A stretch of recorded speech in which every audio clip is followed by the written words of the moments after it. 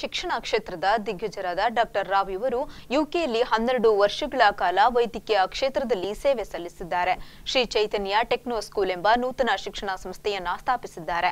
ಸುಮಾರು ಇನ್ನೂರ ಐವತ್ತು ಸ್ಕೂಲ್ಗಳನ್ನ ನಿರ್ಮಾಣ ಮಾಡಿದ್ದಾರೆ. ಆರು ಲಕ್ಷಕ್ಕೂ ವಿದ್ಯಾರ್ಥಿಗಳಿಗೆ ವಿದ್ಯಾದಾನ ಮಾಡಿದ್ದಾರೆ.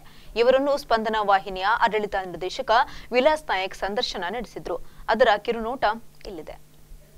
ಡಾಕ್ಟರ್ ರಾವ್ ಅವರು ಅವರು ಯು ಕೆಯಲ್ಲಿ ಡಾಕ್ಟರ್ ಆಗಿದ್ದು ಹನ್ನೆರಡು ವರ್ಷ ಕೆಲಸವನ್ನು ಮಾಡಿ ಇವತ್ತು ಶ್ರೀ ಚೈತನ್ಯ ಟೆಕ್ನೋ ಸ್ಕೂಲ್ ಎಂಬ ಒಂದು ಬ್ರ್ಯಾಂಡನ್ನು ಇನ್ನೂರೈವತ್ತು ಕಾಲೇಜಸ್ಗಳನ್ನು ನಿರ್ಮಾಣ ಮಾಡಿ ಇವತ್ತು ಆರು ಲಕ್ಷಕ್ಕಿಂತ ಮಿಕ್ಕಿ ಸ್ಟೂಡೆಂಟ್ಸ್ಗಳಿಗೆ ಎಜುಕೇಷನ್ ಎಂಬ ಒಂದು ದಾನವನ್ನು ಮಾಡ್ತಾ ಇದ್ದಾರೆ. ನಾವು ಅವ್ರ ಹತ್ರ ಕೇಳ್ಕೊಳ್ಳೋಣ ಅವರ ಘಾತೆಯನ್ನು. Sir ಸ್ಪಂದನ ವಾಹಿನಿಂದ ತಮಗೆ ಸ್ವಾಗತ I would like to start this interview in English since you are basically from Hyderabad and probably you are one among the only few doctors who turned educationist so you have started more than two fifty colleges in Karnataka in India and probably twenty five colleges already in Karnataka how was this experience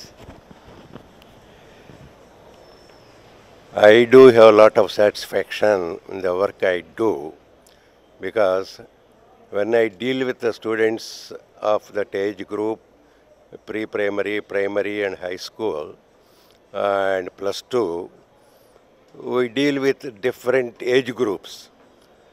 In pre primary, we have to see that they enjoy the school with play and communication skills. Gradually, we have to develop in them. And most of the time, they learn with playing. Whereas in primary, that is the most important part of the education of anybody.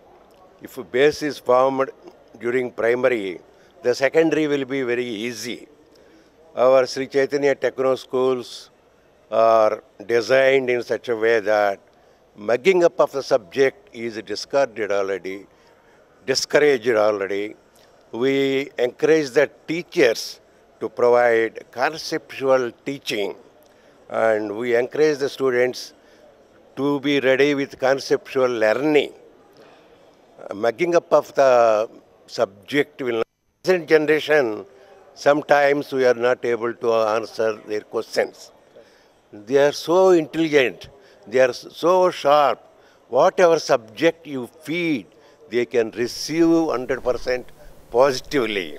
Only thing we have to encourage them positively.